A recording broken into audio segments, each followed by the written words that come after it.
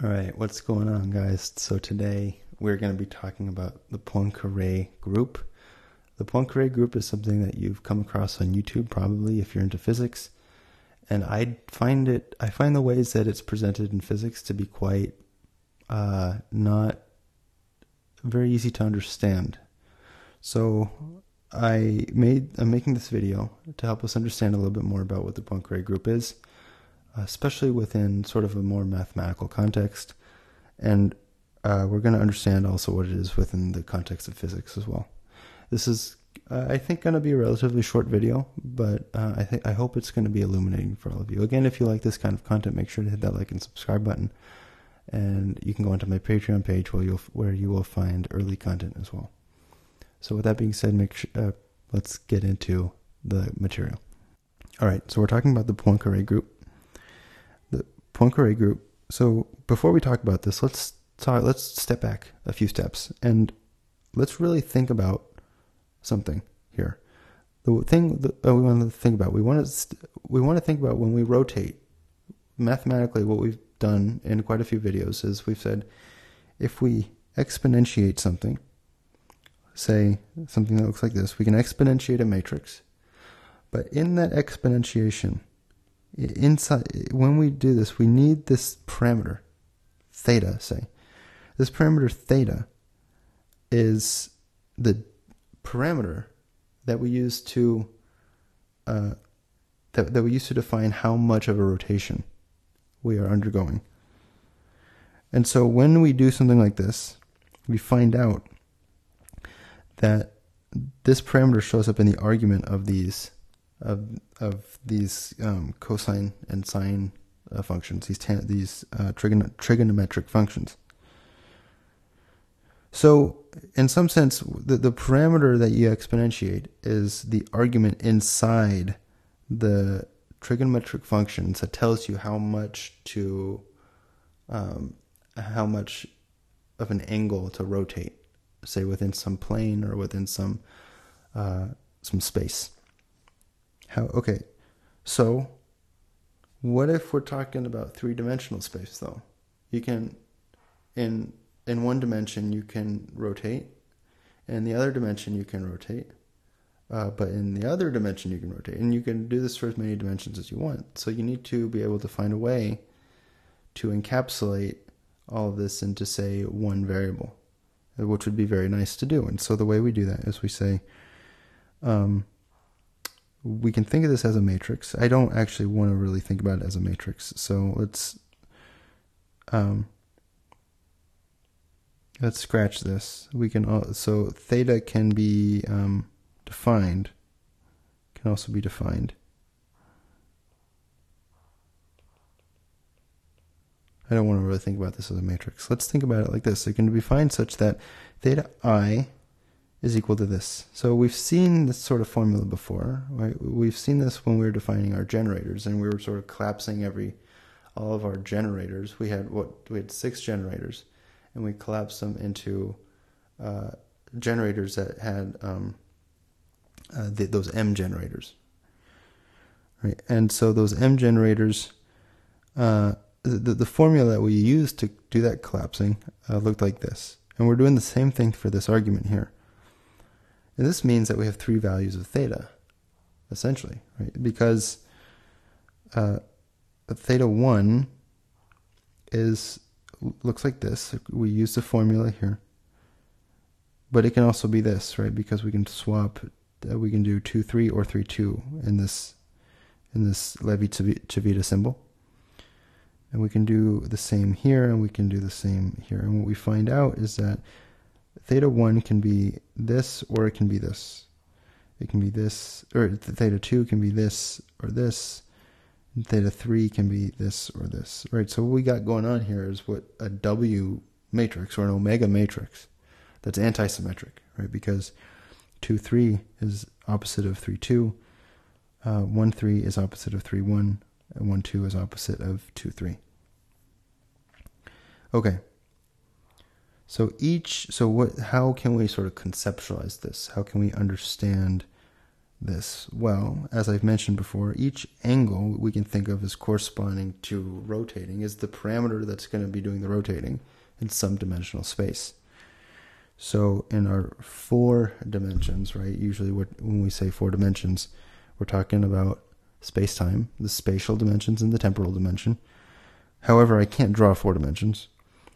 Um, so I just draw three, right? So, but I put quotes around the 4D, right? Uh, so we have one, two, three, and and when we're doing four, we include a zero into into the mix here, which complicates a little thing, a, a few things. But nevertheless, we can define uh, we can define the number of uh, theta variables in this way, right? We so we we get some we get some way to encapsulate all the theta variables into one equation, and when we do that, depending on what this equation again looks like, uh, how many uh, how many entries uh, there are, that'll tell us how many theta var- variables there are. In a 2D representation, we might only have uh, theta 1 and theta 2, right? So theta 1 is going to rotate us around, say, um, in one one plane, theta 2 is going to rotate us around uh, or not plane one axis, theta 2 is going to rotate us around another axis. Okay, so that's how we want to think about these guys right here, right? So we're, we're x, so the, this is the matrix that's going to produce what looks like the rotation matrix, and then this is the argument that's going to be inside of the arguments in that matrix. Okay. So, with that being said now, let's take a look here at the what the total Lorentz transformation is based off of the content that we talked about in the last video. We had an infinite dimensional representation and a finite dimensional representation. The finite dimensional representation were all the all the boosts and all the rotations that we were talking about. Right? We we can talk about boosts and rotations in 4D space, or we could talk about boosts and rotations in 2D space. Um, and those corresponded to the dimensional representation that we were that we were thinking about. Right. So, for example, the one half zero representation had um, the the boosts and rotations.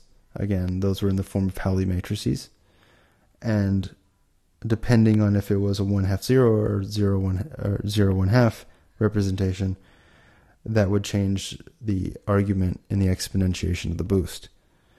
But nevertheless, those were all finite representations, right? We talked; those were matrices. You or the argument that you put in is going to be a finite number.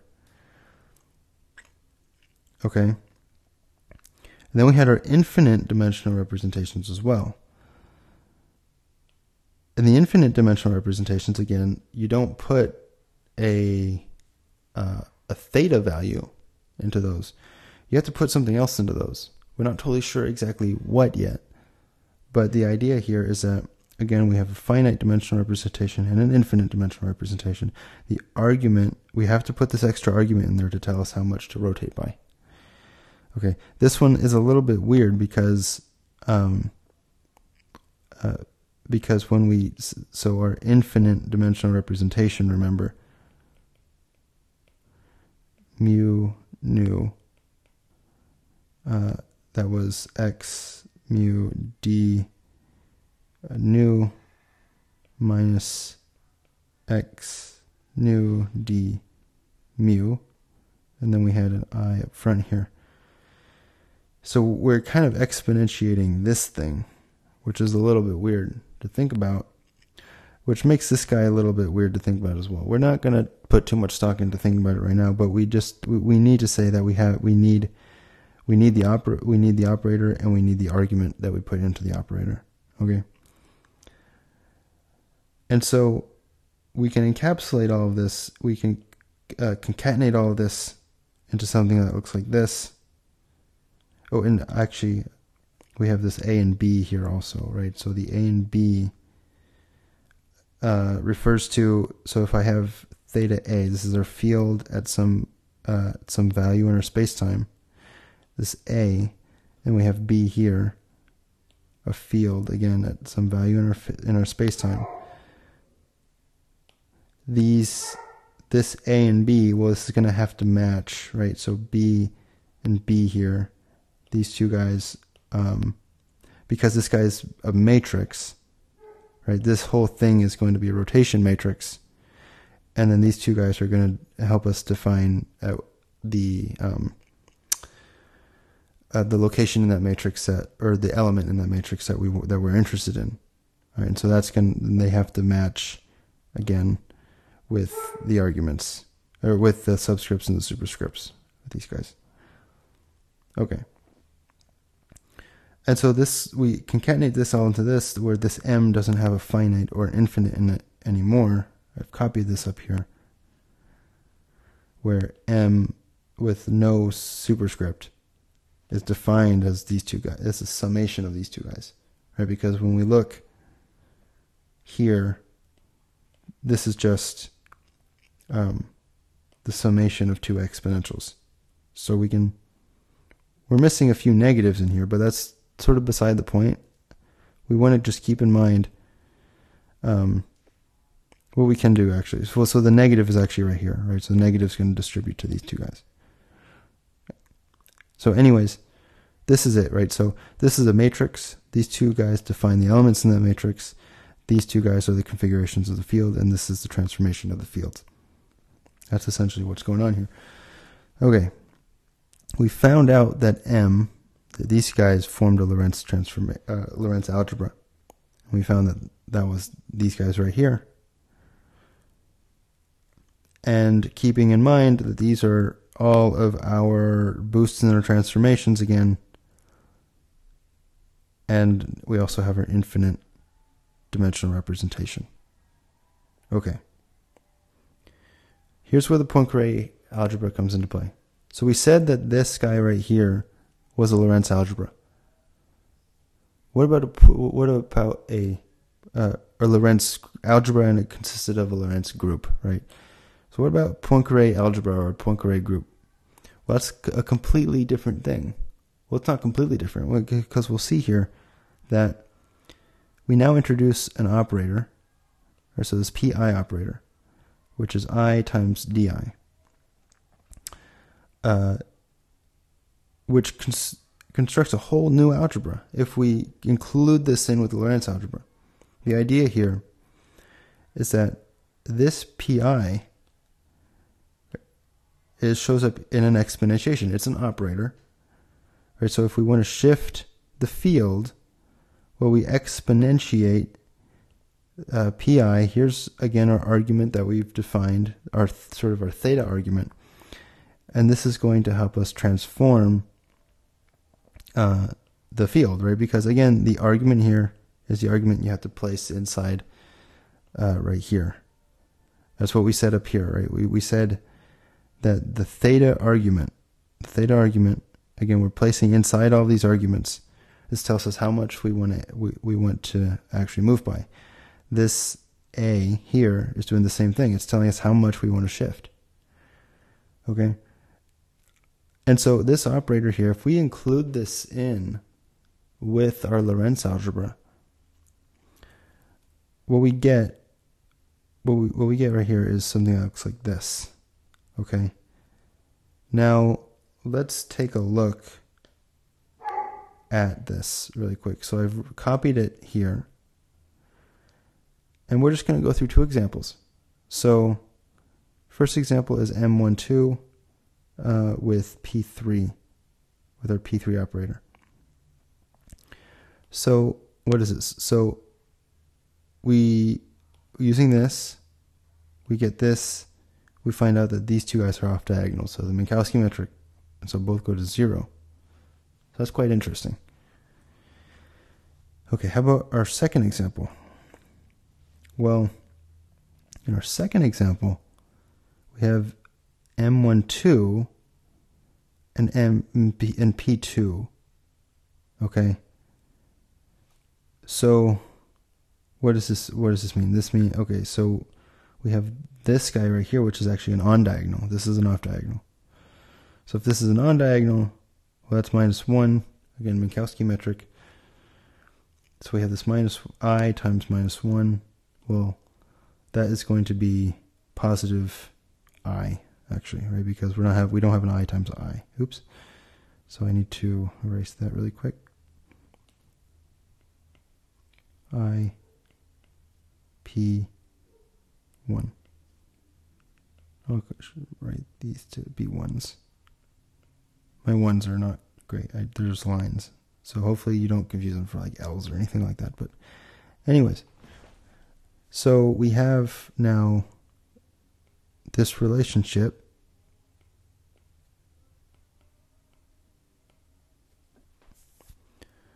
right here.